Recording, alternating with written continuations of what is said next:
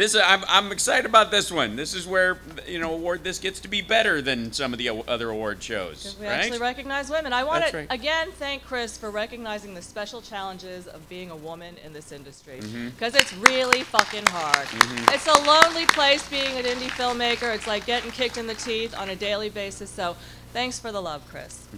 With that, uh, this, this, yeah. I'm supposed to say that this brings back memories of last year's awards, but we already no, it doesn't. No, it doesn't. Not at There's all. people Not at here, all. and they're all It's looking at us like and climbing over facing the right to get to direction, and no one's serving wings downstairs. Um, yeah, it's weird. Okay, so let's just launch straight into it. Yes. Uh, it's time to award uh, the directress, and they award this directress. And the nominees are All right, Amara Cash for Daddy Issues.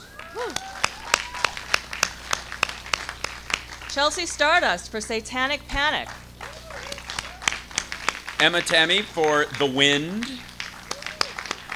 Julia Hart for Fast Color.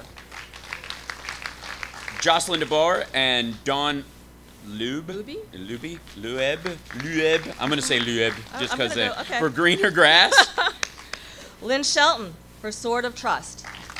Michelle Remsen for Toss It. And Roxanne Benjamin for Body at Brighton Rock.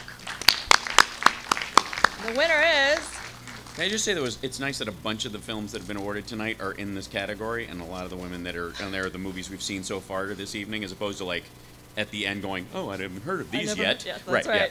yeah. It's a oh, tie. it's a tie. This is so.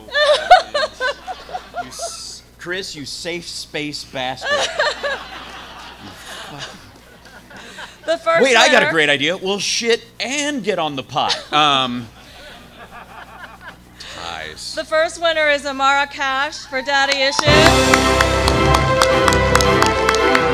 And the second winner, Chelsea Stardust,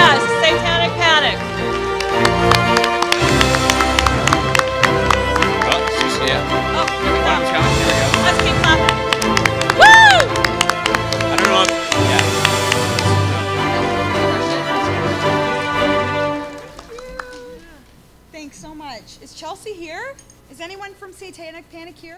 It's close to midnight, so. Okay, well, really quick, just for my film Daddy Issues, um, thanks to Gravitas Ventures for distributing the film and Netflix for picking it up, and my producers Jenna and Alex.